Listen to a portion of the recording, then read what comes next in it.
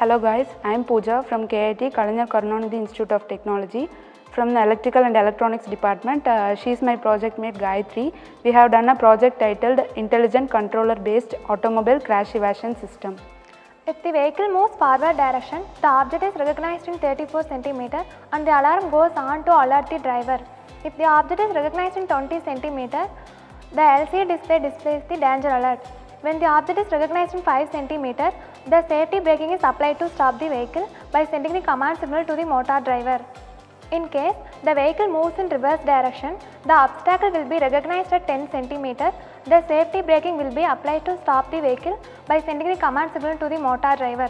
The temperature sensor which monitors the temperature inside the vehicle. If temperature goes high above the set temperature, the alarm goes on to alert the local people and LCD display indicates the car temperature has increased. This prevents the fire accidents of the vehicle. I am going to demonstrate our prototype.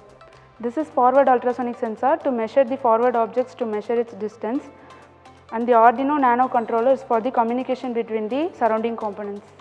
Here the motor driver drives the BO motor and this is a reverse obstacle IR detection sensor which detects the uh, reverse objects to measure its distance. The buzzer is for the warning indication to alert the driver in the time of obstacle occurrence. The battery supplies the power to the vehicle. The temperature sensor senses the temperature inside the vehicle and the LCD display displays the vehicle alert conditions.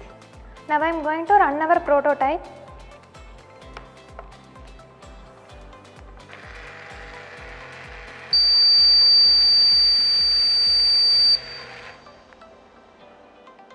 Our prototype implemented in automobiles prevents the crash between the automobiles thus saves the human life.